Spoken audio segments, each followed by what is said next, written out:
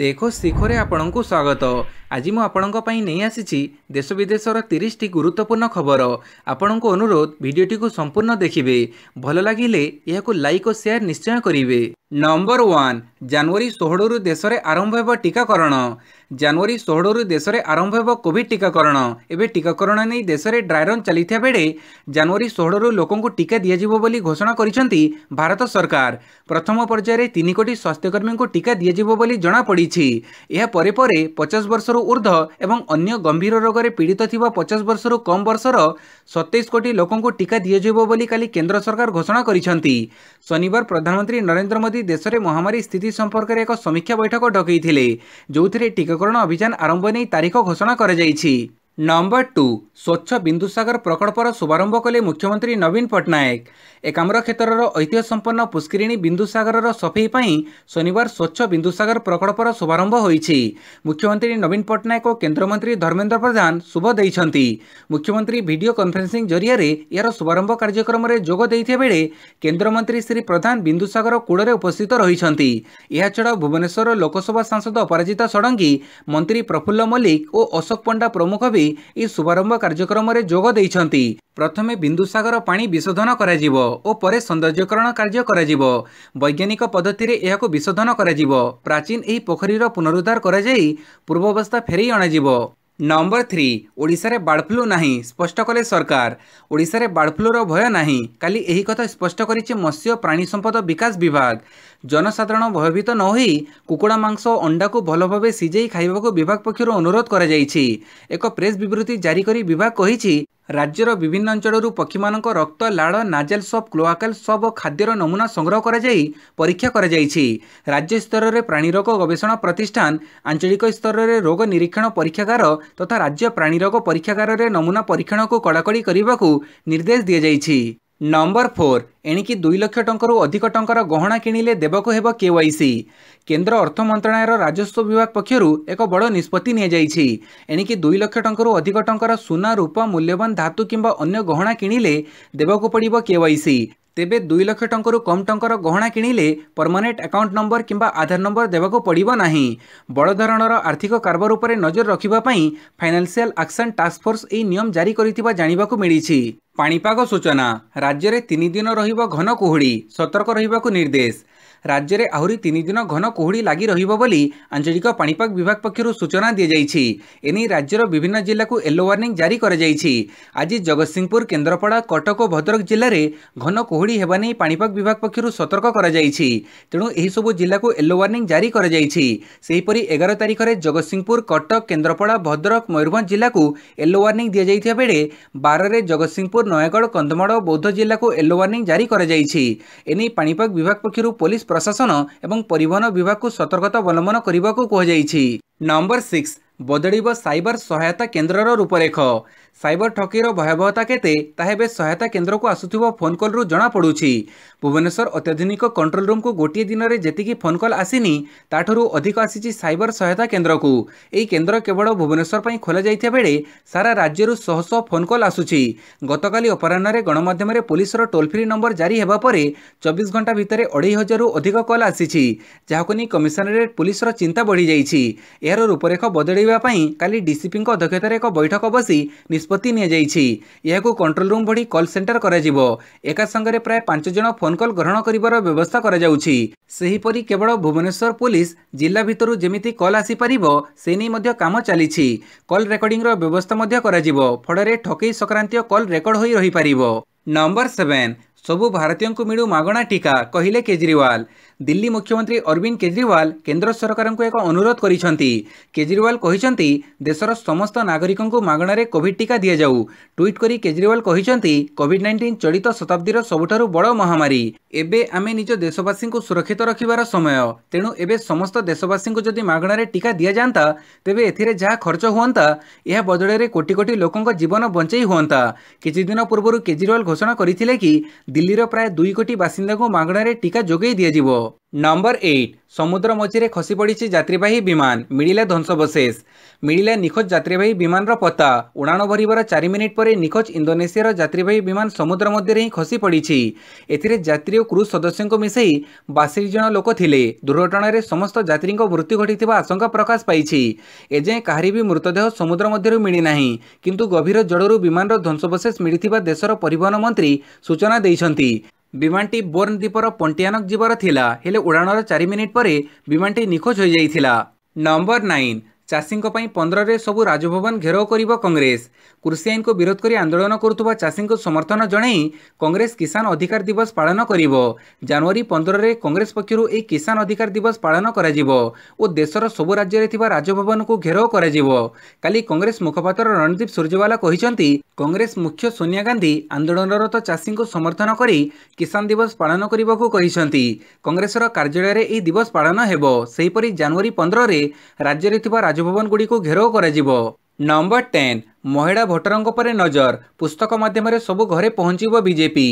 ପୌର ପଞ୍ଚାୟତ ନିର୍ବାଚନକୁ ଦୃଷ୍ଟିରେ ରଖି ବିଜେପି ଏବେ ମହିଳା ଭୋଟରଙ୍କୁ ଆକୃଷ୍ଟ କରିବା ନିମନ୍ତେ ରଣନୀତି ପ୍ରସ୍ତୁତ କରିଛି ପ୍ରଧାନମନ୍ତ୍ରୀ ନରେନ୍ଦ୍ର ମୋଦିଙ୍କ ନେତୃତ୍ୱରେ ମହିଳାଙ୍କୁ ସଶକ୍ତିକରଣ କରିବା ଦିଗରେ ନିଆଯାଇଥିବା ପଦକ୍ଷେପ ଓ ସହାୟତା ସମ୍ପର୍କିତ ଏକ ପୁସ୍ତକ ମାଧ୍ୟମରେ ରାଜ୍ୟର ସବୁ ଘରେ ପହଞ୍ଚି ମହିଳାଙ୍କୁ ପ୍ରଭାବିତ କରିବାକୁ ଦଳ ଲକ୍ଷ୍ୟ ରଖିଛି ଦଳର ମହିଳା କର୍ମକର୍ତ୍ତାଙ୍କ ମଧ୍ୟ ଏହି ପୁସ୍ତକ ଯେଭଳି ସବୁ ବର୍ଗର ମହିଳାଙ୍କ ପାଖରେ ପହଞ୍ଚିବ ସେ ଦିଗରେ କାର୍ଯ୍ୟ କରିବାକୁ ପରାମର୍ଶ ଦିଆଯାଇଛି କାଲି ରାଜ୍ୟ ବିଜେପି କାର୍ଯ୍ୟାଳୟରେ କେନ୍ଦ୍ରମନ୍ତ୍ରୀ ଧର୍ମେନ୍ଦ୍ର ପ୍ରଧାନ ଓଡ଼ିଆ ଅନୁବାଦ ପୁସ୍ତକ ଭାରତୀୟ ମହିଳା ଆହ୍ୱାନ ଉପରେ ବିଜୟ ପ୍ରତିବନ୍ଧକର ବିନାଶକୁ ଉନ୍ମୋଚିତ କରିଛନ୍ତି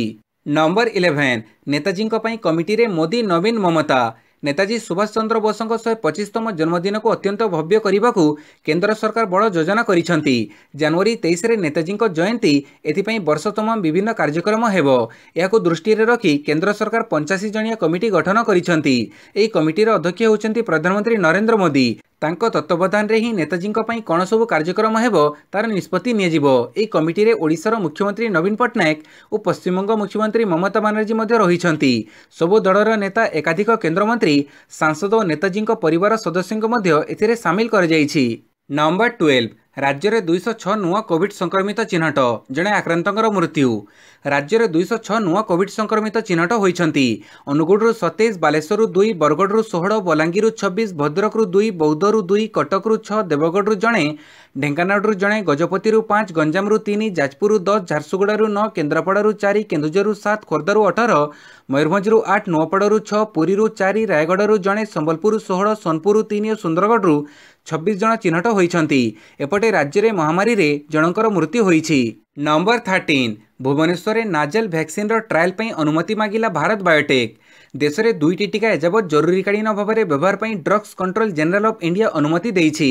ପୁଣେ ସ୍ଥିତ ସେରମ୍ ଇନ୍ଷ୍ଟିଚ୍ୟୁଟ୍ ଏବଂ ହାଇଦ୍ରାବାଦ ସ୍ଥିତ ଭାରତ ବାୟୋଟେକ୍ର ଟିକାକୁ ଅନୁମତି ମିଳିଛି ଏବେ ଭାରତ ବାୟୋଟେକ୍ ଆଉ ପାଦେ ଆଗକୁ ଯାଇ ନାଜେଲ ଟିକା ଉପରେ ଗବେଷଣା କରିଛି ଟିକାର ଟ୍ରାଏଲ୍ ପାଇଁ ଏବେ ଡିସିଜିଆଇକୁ ଅନୁମତି ମାଗିଛି ଭାରତ ବାୟୋଟେକ୍ ଅନୁମତି ପାଇଥିବା ଦୁଇ ଟିକା କାନ୍ଧର ତଳେ ଇଞ୍ଜେକ୍ସନ୍ ଜରିଆରେ ଦିଆଯାଏ ଭାରତ ବାୟୋଟେକ୍ର ସୂଚନା ଅନୁଯାୟୀ ପ୍ରଥମେ ଏହାର ପରୀକ୍ଷା ନାଗପୁର ଭୁବନେଶ୍ୱର ପୁଣେ ଏବଂ ହାଇଦ୍ରାବାଦ ଭଳି ସହରରେ କରାଯିବ ନମ୍ବର ଫୋର୍ଟିନ୍ ଉତ୍ତର କୋରିଆର ସବୁଠୁ ବଡ଼ ଶତ୍ରୁ ଆମେରିକା କହିଲେ କିମ୍ ଜଙ୍ଗ ଉନ୍ ଆଣବିକ ସ୍ତରରେ ବଡ଼ିବାନ ତାଙ୍କର ଦେଶର ସବୁଠୁ ବଡ଼ ଶତ୍ରୁ ଯୁକ୍ତରାଷ୍ଟ୍ର ଆମେରିକା ବୋଲି ଉତ୍ତର କୋରିଆର ନେତା କିମ୍ ଜଙ୍ଗ ଉନ୍ କହିଥିବା ଶନିବାର ଦିନ ରାଷ୍ଟ୍ରାୟତ୍ତ ଗଣମାଧ୍ୟମ କେସିଏନ୍ଏ ରିପୋର୍ଟ କରିଛି ଜୋ ବାଇଡେନ୍ ଯୁକ୍ତରାଷ୍ଟ୍ର ଆମେରିକାର ରାଷ୍ଟ୍ରପତି ଭାବେ ଶପଥ ନେବାର ଦୁଇ ସପ୍ତାହ ପୂର୍ବରୁ କିମ୍ ଏକଥା ଘୋଷଣା କରିଛନ୍ତି ବିଦାୟୀ ରାଷ୍ଟ୍ରପତି ଡୋନାଲ୍ଡ ଟ୍ରମ୍ପଙ୍କ ସହ ମଧ୍ୟ ତାଙ୍କର ସମ୍ପର୍କ ଭଲ ନଥିଲା ଯେ କେହି କ୍ଷମତାରେ ଥିଲେ ବି ଉତ୍ତର କୋରିଆ ନିମନ୍ତେ ଆମେରିକା ନୀତିର ବାସ୍ତବ ସ୍ୱଭାବ କଦାପି ବଦଳିବ ନାହିଁ ବୋଲି ବାଇଡେନ୍ଙ୍କ ନାଁ ନ ଧରି କିମ୍ କହିଥିବା ଏକଥା କେସିଏନ୍ଏ ରିପୋର୍ଟ କରିଛି ନମ୍ବର ଫିଫ୍ଟିନ୍ ମହାରାଷ୍ଟ୍ରର ଡାକ୍ତରଖାନାରେ ଭୟାବହ ଅଗ୍ନିକାଣ୍ଡ ଦଶ ଶିଶୁ ଜୀବନ୍ତ ଦଗ୍ଧ ମହାରାଷ୍ଟ୍ରର ଭଣ୍ଡାରା ଜିଲ୍ଲାସ୍ଥିତ ଏକ ଡାକ୍ତରଖାନାର ଶିଖ୍ ନ୍ୟୁବର୍ଣ୍ଣ କେୟାର ୟୁନିଟ୍ରେ ଭୟାନକ ଅଗ୍ନିକାଣ୍ଡ ଘଟିବାରୁ ଅନ୍ୟ ଦଶ ଜଣ ଶିଶୁଙ୍କର ମୃତ୍ୟୁ ଘଟିଛି প্রাপ্ত সূচনা অনুসারে গত রাতে প্রায় দুইটা সময় উক্ত ডাক্তারখানায় নিয়া লাগিছিল নিয়া লাগিবা সময় ওয়ার্ডে সতর জন শিশু চিকিৎসাধীন লে এবং সে মধ্যে সাত জনক উদ্ধার করা যাই এ কথা গণমাধ্যমক ডাক্তারখানার সিভিল সর্জন প্রমোদ খণ্ডাতে জনাই কুহযাচ্ছি ওয়ার্ডর উদ্ধার হয়ে সাত জন শিশু নিরাপদ অনেক বিজুড়ি সর্ট সর্কিট যোগ ডাক্তারখানার অগ্নিকাণ্ড ঘটি কথা প্রাথমিক অনুসন্ধান অনুমান করা যাচ্ছে নম্বর সিক্সটিন ମନ୍ତ୍ରିମଣ୍ଡଳ ସମ୍ପ୍ରସାରଣକୁ ନେଇ ବିଜେପିକୁ ଟାର୍ଗେଟ୍ କଲେ ନୀତିଶ କୁମାର ବିହାର ବିଧାନସଭା ନିର୍ବାଚନ ପରେ ବିଜେପି କଥା ରକ୍ଷା କରି ନୀତିଶ କୁମାରଙ୍କୁ ମୁଖ୍ୟମନ୍ତ୍ରୀ ପଦରେ ବସେଇଲା ହେଲେ ଏବେ ବିଜେପି ବିଧାୟକମାନେ ବିହାରବାସୀଙ୍କୁ ସୁଶାସନ ଦେବାରେ ବାଧକ ସାଜୁଛନ୍ତି ବୋଲି ଅଭିଯୋଗ ଆଣିଛନ୍ତି ମୁଖ୍ୟମନ୍ତ୍ରୀ ତଥା ଜେଡିୟୁ ପ୍ରମୁଖ ନୀତିଶ କୁମାର ବିହାର ମନ୍ତ୍ରିମଣ୍ଡଳର ସମ୍ପ୍ରସାରଣ ବିଳମ୍ବକୁ ନେଇ ନୀତିଶ କୁମାର ସହଯୋଗୀ ବିଜେପି ଉପରେ ଦୋଷ ଲଦିଛନ୍ତି ସେ କହିଛନ୍ତି କି ତାଙ୍କ କାର୍ଯ୍ୟକାଳ ମଧ୍ୟରେ ବିହାରରେ ଏଭଳି କେବେ ହୋଇନଥିଲା ବା ମନ୍ତ୍ରିମଣ୍ଡଳର ସମ୍ପ୍ରସାରଣରେ ଏତେ ବିଳମ୍ବ ହୋଇନଥିଲା ସରକାର ଆରମ୍ଭରୁ ମନ୍ତ୍ରିମଣ୍ଡଳର ସମ୍ପ୍ରସାରଣ କରାଯାଏ ବୋଲି ନୀତିଶ କହିଛନ୍ତି ନମ୍ବର ସେଭେନଟିନ୍ କମିବ ତେଲ ଦର ପେଟ୍ରୋଲିୟମ ମନ୍ତ୍ରଣା ଆରମ୍ଭ କଲା ପ୍ରସ୍ତୁତି ପେଟ୍ରୋଲ ଓ ଡିଜେଲ ଦର ବଢ଼ୁଥିବା ନେଇ ଖାଉଟି ସମେତ ସାଧାରଣ ଲୋକ ଏବେ ଚିନ୍ତାରେ ତେଲ ଦର ବଢ଼ୁଥିବାରୁ ସାରା ଦେଶରେ ଖାଦ୍ୟ ସାମଗ୍ରୀ ସମେତ ବିଭିନ୍ନ ଜିନିଷର ଦରଦାମ ବଢ଼ୁଛି ଯାହାକି ଚିନ୍ତାର କାରଣ ପାଲଟିଛି ଏବେ କେନ୍ଦ୍ର ପେଟ୍ରୋଲିୟମ ମନ୍ତ୍ରଣାଳୟ ପଚାଶ ପ୍ରତିଶତ ଉତ୍ପାଦ ଶୁଳ୍କ କମିବାକୁ କେନ୍ଦ୍ର ସରକାରଙ୍କୁ ପ୍ରସ୍ତାବ ଦେଇଥିବା ସୂଚନା ରହିଛି ଯଦି ସରକାର ପେଟ୍ରୋଲିୟମ ବିଭାଗର ପ୍ରସ୍ତାବ ଗ୍ରହଣ କରିବେ ତାହେଲେ ପେଟ୍ରୋଲ ଓ ଡିଜେଲ ଦର ପାଞ୍ଚ ଟଙ୍କା ଲେଖାଏଁ ଲିଟର ପିଛା କମିବ ବୋଲି ସୂଚନା ରହିଛି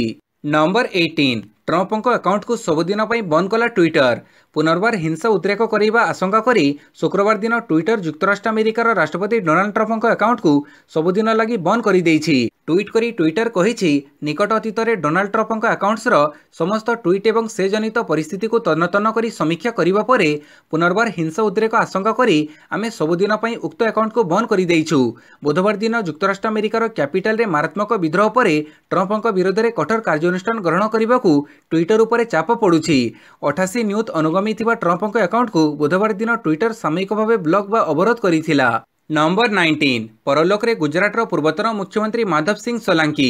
ବରିଷ୍ଠ କଂଗ୍ରେସ ନେତା ତଥା ଗୁଜରାଟର ପୂର୍ବତନ ମୁଖ୍ୟମନ୍ତ୍ରୀ ମାଧବ ସିଂ ସୋଲାଙ୍କିଙ୍କର ଶନିବାର ସକାଳେ ଦେହାନ୍ତ ହୋଇଯାଇଛି ମୃତ୍ୟୁବେଳକୁ ତାଙ୍କୁ ଚଉରାନବେ ବର୍ଷ ବୟସ ହୋଇଥିଲା ଉଣେଇଶହ ସତେଇଶ ମସିହା ଜୁଲାଇ ତିରିଶରେ ଜନ୍ମିତ ସୋଲାଙ୍କି ଉଣେଇଶହ ଛସ୍ତରୀରେ ସ୍ୱଳ୍ପ ସମୟ ପାଇଁ ଗୁଜରାଟର ମୁଖ୍ୟମନ୍ତ୍ରୀ ହୋଇଥିଲେ ପୁଣି ଉଣେଇଶହ ଏକାଅଶୀରେ ସେ ଗୁଜରାଟର ମୁଖ୍ୟମନ୍ତ୍ରୀ ଭାବେ କ୍ଷମତାକୁ ଆସିଥିଲେ ଏହି ସମୟରେ ସୋଲାଙ୍କି ସାମାଜିକ ଆର୍ଥିକ ପଛୁଆବର୍ଗଙ୍କ ନିମନ୍ତେ ସଂରକ୍ଷଣ ବ୍ୟବସ୍ଥା ପ୍ରଚଳନ କରିଥିଲେ ଉଣେଇଶହ ପଞ୍ଚାଅଶୀରେ ସୋଲାଙ୍କି ଇସ୍ତଫା ଦେଇଥିଲେ କିନ୍ତୁ ପରେ ଗୁଜରାଟ ବିଧାନସଭାର ଶହେ ବୟାଅଶୀଟି ଆସନ ଆସନରୁ ଶହେ ଅଣଚାଶଟି ଆସନରେ ବିଜୟୀ ହୋଇ ପୁନର୍ବାର କ୍ଷମତାକୁ ଫେରିଥିଲେ ନମ୍ବର ଟ୍ୱେଣ୍ଟି ନିର୍ବାଚନ ପୂର୍ବରୁ ଓବେସୀଙ୍କୁ ଝଟକା ମମତାଙ୍କ ହାତ ଧରିଲେ ରାଜ୍ୟ ମୁଖିଆ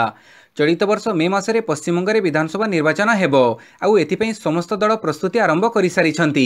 ବିଜେପି ଏବଂ ଟିଏମ୍ସି ମଧ୍ୟରେ ଚାଲିଥିବା ପ୍ରତିଯୋଗିତାରେ ଓବିସିଙ୍କ ପାର୍ଟି ଏଆଇଏମ୍ଆଇଏମ୍ର ପ୍ରବେଶ ପଶ୍ଚିମବଙ୍ଗ ନିର୍ବାଚନକୁ ଆହୁରି ରୋଚକ କରିଛି କିନ୍ତୁ ନିର୍ବାଚନ ପୂର୍ବରୁ ଓବିସିଙ୍କ ଏକ ବଡ଼ ଝଟକା ଲାଗିଛି କାଲି ଏଆଇଏମ୍ଆଇଏମ୍ର ରାଜ୍ୟ କାର୍ଯ୍ୟକାରୀ ସଭାପତି ଏସ୍କେ ଅବଦୁଲ କଲାମ ତୃଣମୂଳ କଂଗ୍ରେସ ଦଳରେ ଯୋଗ ଦେଇଛନ୍ତି ଏଆଇଏମ୍ଆଇଏମ୍ର ଅନେକ କର୍ମୀ ମଧ୍ୟ ଏସ୍କେ ଅବଦୁଲ କଲାମଙ୍କ ସହ ଟିଏମ୍ସିରେ ଯୋଗ ଦେଇଛନ୍ତି କୋଲକାତାର ଟିଏମ୍ସି ଉଖେଡ଼ାରେ ପାର୍ଟିରେ ଯୋଗ ଦେବା ପରେ କଲାମ କହିଛନ୍ତି ଯେ ପଶ୍ଚିମବଙ୍ଗରେ ଦୀର୍ଘ ବର୍ଷ ଧରି ଶାନ୍ତ ପରିବେଶ ରହିଛି ବିଷାକ୍ତ ବାୟୁଠାରୁ ଦୂରେଇ ରହିବା ପାଇଁ ସେ ଦଳ ବଦଳେଇଛନ୍ତି ନମ୍ବର ଟ୍ୱେଣ୍ଟି ୱାନ୍ ବେଙ୍ଗଲରେ ଗଢ଼ି ଉଠୁଛି ବୋମା ତିଆରି ଫ୍ୟାକ୍ଟ୍ରି କହିଲେ ରାଜ୍ୟପାଳ କ୍ରମାଗତ ମମତା ସରକାର ବିରୋଧୀ ମନ୍ତବ୍ୟ ଦେଉଥିବା ରାଜ୍ୟପାଳ ପୁଣି ରାଜ୍ୟ ସରକାରଙ୍କ ଉପରେ ସାଂଘାତିକ ଆରୋପ ଲଗାଇଛନ୍ତି ପଶ୍ଚିମବଙ୍ଗ ରାଜ୍ୟପାଳ ଜଗଦୀପ ଧନକର କାଲି ଦିଲ୍ଲୀରେ ସ୍ୱରାଷ୍ଟ୍ରମନ୍ତ୍ରୀ ଅମିତ ଶାହାଙ୍କୁ ଭେଟିଛନ୍ତି ଏହାପରେ ସେ ସାମ୍ବାଦିକ ସମ୍ମିଳନୀ କରି ବେଙ୍ଗଲ ସମ୍ପର୍କରେ ସାଂଘାତିକ ତଥ୍ୟ ଦେଇଛନ୍ତି ସେ କହିଛନ୍ତି ବେଙ୍ଗଲର ସୁରକ୍ଷା ସ୍ଥିତି ଏବେ ବିପଦରେ ରହିଛି କୁଖ୍ୟାତ ଆତଙ୍କୀ ସଂଗଠନ ଅଲକାଏଦା ବେଙ୍ଗଲରେ ନିଜର ସଂଗଠନକୁ ଅଧିକ ଦୃଢ଼ କରିବା ପାଇଁ ଉଦ୍ୟମ କରୁଛି ରାଜ୍ୟର ଏକାଧିକ ସ୍ଥାନରେ ଅନୁଷ୍ଠାନରେ ବୋମା ତିଆରି ଫ୍ୟାକ୍ଟ୍ରି ଖୋଲିବାରେ ଲାଗିଛି ସବୁକିଛି ଖୋଲାଖୋଲିରେ ଚାଲିଥିବା ବେଳେ ରାଜ୍ୟ ପ୍ରଶାସନ କ'ଣ କରୁଛି ସେ କଥା ମୁଁ ଜାଣିବାକୁ ଚାହୁଁଛି ବେଙ୍ଗଲରେ ପୁଲିସର ରାଜନୀତିକରଣ ହୋଇସାରିଛି ବୋଲି ସେ କହିଛନ୍ତି ନମ୍ବର ଟ୍ୱେଣ୍ଟି ଟୁ ଛଅଶହ ଅଣାନବେ ପଏଣ୍ଟ ବଢ଼ିଲା ସେନ୍ସେକ୍ସ କାଲି ବମ୍ବେ ଷ୍ଟକ୍ ଏକ୍ସଚେଞ୍ଜରେ ସେନ୍ସେକ୍ସ ଛଅଶହ ଅଣାନବେ ଦଶମିକ ଏକ ନଅ ପଏଣ୍ଟ ଉପରକୁ ଉଠି ଅଡ଼ଚାଳିଶ ହଜାର ସାତଶହ ବୟାଅଶୀ ଦଶମିକ ପାଞ୍ଚ ଏକ ପଏଣ୍ଟରେ ବନ୍ଦ ହୋଇଛି ଷ୍ଟକ୍ ବଜାରରେ ତାଲିକାଭୁକ୍ତ କମ୍ପାନୀଗୁଡ଼ିକର ବଜାର ପୁଞ୍ଜି ଶହେ ପଞ୍ଚାନବେ ଦଶମିକ ଛଅ ଚାରି ଲକ୍ଷ କୋଟି ଟଙ୍କାକୁ ବୃଦ୍ଧି ପାଇବା ଫଳରେ କାଲି ଗୋଟିଏ ଦିନରେ ନିବେଶକମାନେ ଦୁଇ ଦଶମିକ ଚାରି ଛଅ ଲକ୍ଷ କୋଟି ଟଙ୍କାର ଲାଭ କରିପାରିଛନ୍ତି ନିଫ୍ଟି ଦୁଇଶହ ନଅ ଦଶମିକ ନଅ ଶୂନ ପଏଣ୍ଟ ବୃଦ୍ଧି ଘଟି ଚଉଦ ହଜାର ତିନିଶହ ସଡ଼ଚାଳିଶ ଦଶମିକ ଦୁଇ ପାଞ୍ଚ ପଏଣ୍ଟରେ ବନ୍ଦ ହୋଇଛି number twenty three Covaxin trial ବେଳେ ଟିକା ନେଇଥିବା ବ୍ୟକ୍ତିଙ୍କ ମୃତ୍ୟୁ କାରଣ ସ୍ପଷ୍ଟ ଭାରତ ବାୟୋଟେକ୍ ଦ୍ୱାରା ପ୍ରସ୍ତୁତ କୋଭିଡ୍ ଟିକା କୋଭାକ୍ସିନ୍କୁ ଟ୍ରାଏଲ୍ ବେଳେ ଜଣେ ବ୍ୟକ୍ତି ନେଇଥିଲେ ଏବେ ତାଙ୍କର ମୃତ୍ୟୁ ଘଟିଛି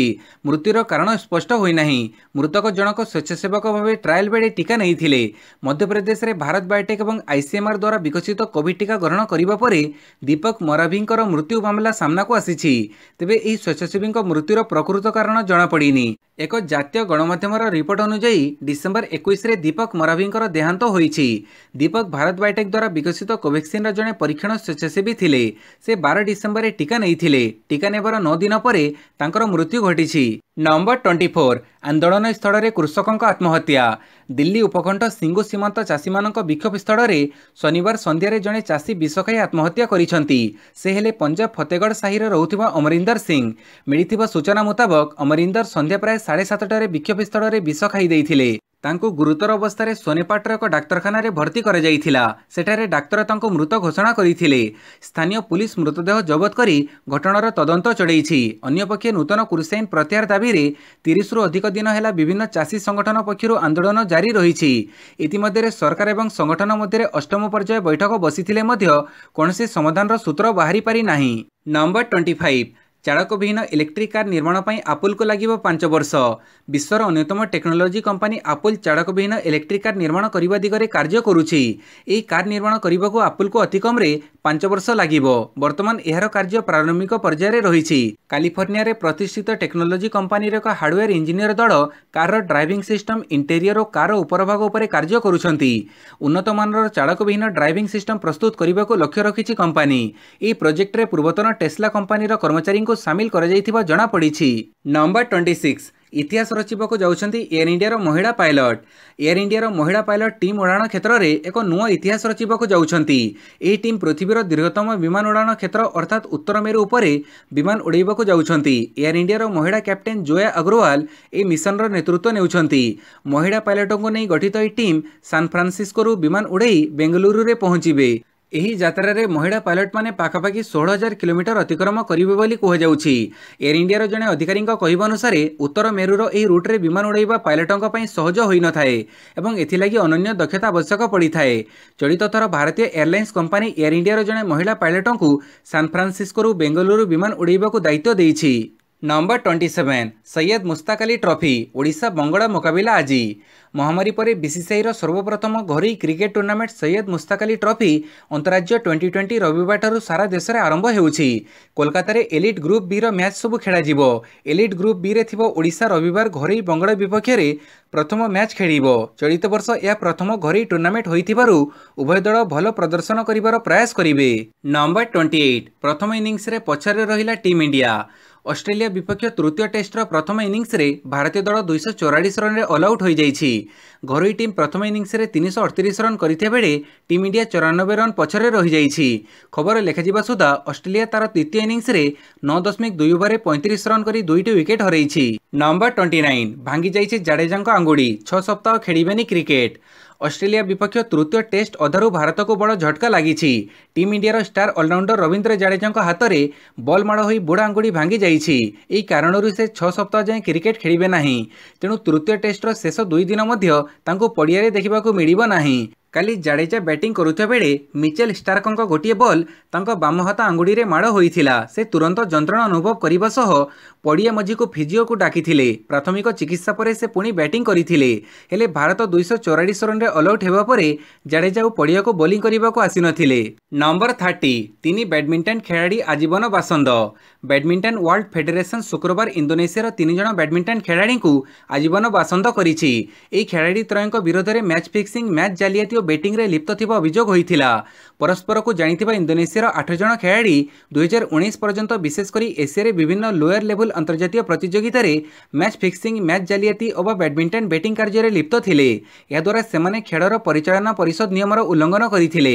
ଅନ୍ୟ ପାଞ୍ଚ ଜଣଙ୍କୁ ଛଅରୁ ବାର ବର୍ଷ ମଧ୍ୟରେ ସସ୍ପେଣ୍ଡ କରାଯାଇଛି ଏହାଛଡ଼ା ପ୍ରତ୍ୟେକଙ୍କୁ ତିନି ହଜାରରୁ ବାର ହଜାର ଆମେରିକୀୟ ଡଲାର ମଧ୍ୟରେ ଜରିମାନା କରାଯାଇଛି ଭିଡ଼ିଓଟିକୁ ସମ୍ପୂର୍ଣ୍ଣ ଦେଖିଥିବାରୁ ବହୁତ ବହୁତ ଧନ୍ୟବାଦ